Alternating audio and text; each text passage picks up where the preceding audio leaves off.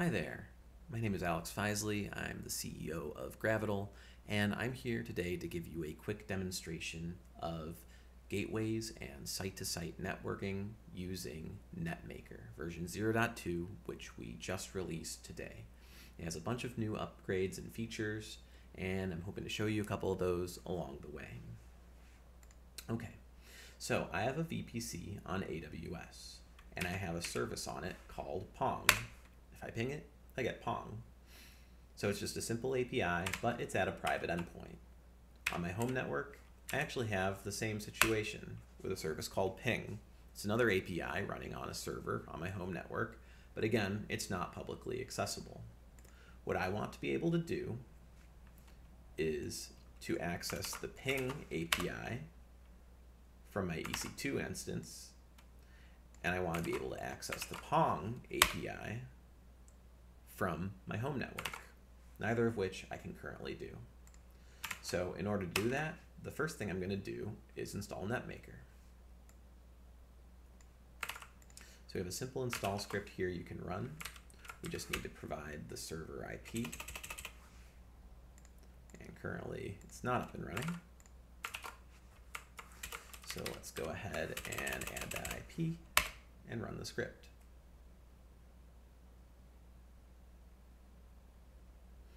It's going to wait a little bit for Mongo to come up and running. Then it's going to install the NetMaker client. It's going to add it. It's going to set up the service. And after it's all said and done, we should have NetMaker running along with our UI. So if I go ahead and refresh that, we actually do have that running. And if I check this out here,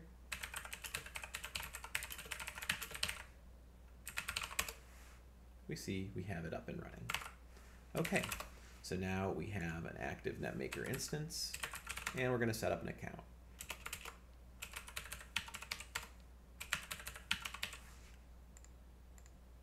And there you have it, we have NetMaker. And the first thing I want to show you is a new feature we've added. And this is the reason why NetMaker actually is not running as a Docker container. Um, it's running in what's called client mode, which allows NetMaker to be added to networks automatically. So you see we already have a node here called NetMaker, and it's on a default network, which is another thing we set up. So now once you first come in to your NetMaker instance, you have a default network that you can use and add nodes to, and you already have a node in it up and running. So if we look here,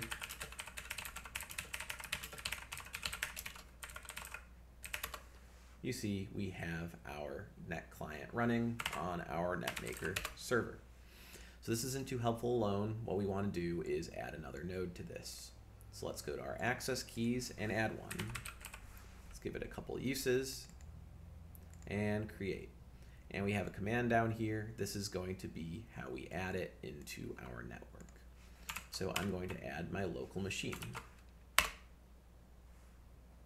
Oops, and I'm, oh, it's because of the directory I'm in, has a naming conflict, so let's run that again. And there we go. We are now up and running here as well. Let's take a look at our nodes. We now have our other node, and this is my home machine, so let's just go ahead and call that workstation. That'll just make it a little easier. Okay, let's go back. So we now have the NetMaker machine and we have my local workstation. And so these guys should now be able to ping each other over the local network. Let's give that a try. So this guy is going to ping not one, but two. And we see that's going through. Let's try it from here.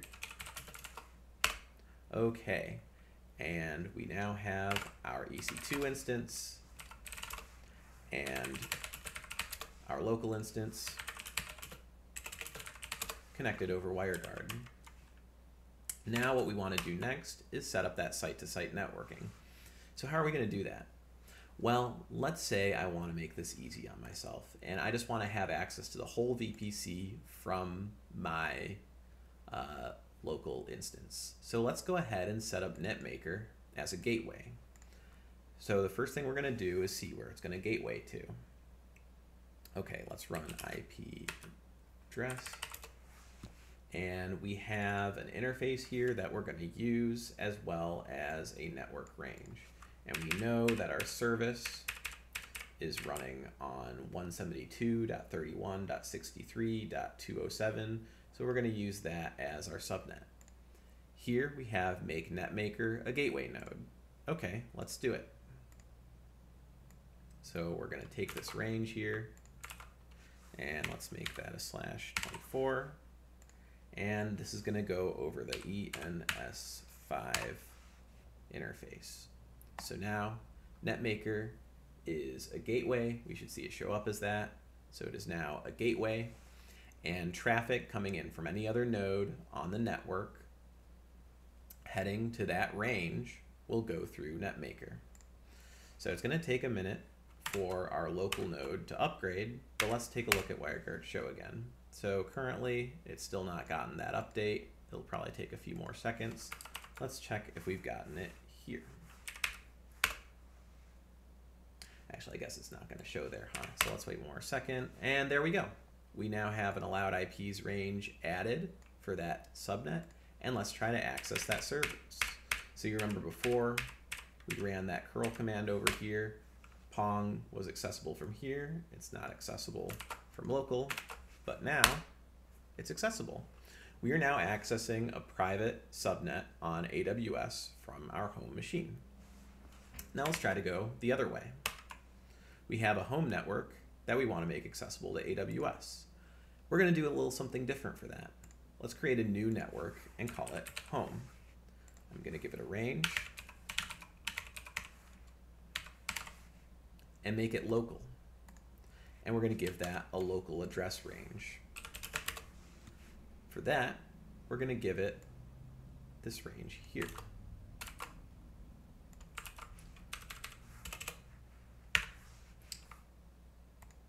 Now what that means is this is not a public network. It does not use public IPs.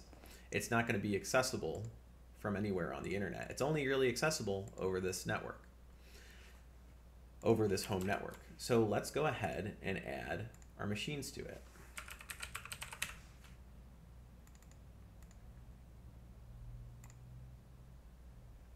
We have our install command here, and we're first going to run it from our local machine. Let's just run that from temp, make sure we don't get some override there. Well, actually, yeah, we don't need to run the install command entirely because we have our key already. So instead, what we can run is the netmaker command. So let's just run sudo net client install with our token. Okay, there it is. So we should show that on our home network. And we're going to need to go to that other service as well. So we're going to SSH over to there.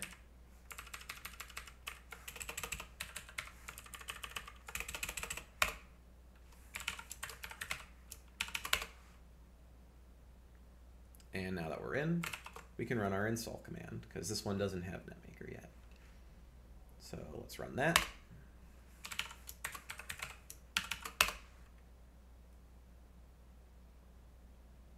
And there we go. It's now installed on our home network and we have a private range there. You can see both nodes are there and they are healthy. So what are we going to do now? Let's make sure this is working first. So let's ping this address.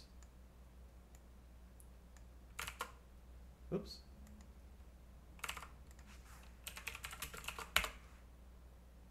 Okay, it's reachable. Exit out of that server. Let's ping it. And it's reachable. Okay, that's great.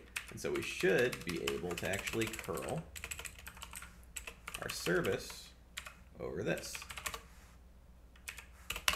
And there we have it. We can now use that private address to access it. And what we want to do is have our AWS machine use that same private address. So let's make our workstation a gateway as well. And for this, we have a little bit easier time because we can just choose our home network. It's going to use the default interface name and the range, and that's all we have to do. and it's limited to the machines we chose. So unlike our VPC, where we now have access to that full range, this gateway only has access to the nodes on this network we make. So we should see our workstation update, and it is now a gateway. Now we just have to wait for our EC2 instance to get that update. So let's run WireGuard show. So it still has those same allowed IPs, but another second later, there we have it. It now has that range. And let's try to curl that address. There we go. So we are now able to access a machine on our home network from EC2 without a public address. We're able to access a machine in our EC2 VPC from our home network without a public address as well. And that's how you set up gateways in NetMaker. Removing them is just as easy. I can do this. There's one gone. Let's wait for that to update actually. And let's remove the other one. So now those gateways are gone and we no longer have that access. So that was just a quick demonstration. There's a couple other new features here as well, which we can get into. Um, but I hope you enjoyed that demonstration. And I hope you'll check out NetMaker. We have a couple other new features as well, such as a public key refresh. So you can refresh the public keys on all your machines. If, for instance, you think someone accessed it who shouldn't have. Um, and we can also expire nodes now. So that is another option as well. Let's say you only want this home node network uh, to be accessible for a short period of time. You can now set an expiration date on there and this node will then expire, which can be done doing this. So a lot of fun things you can check out, and I hope you will. Thank you very much, and uh, hope to see you soon.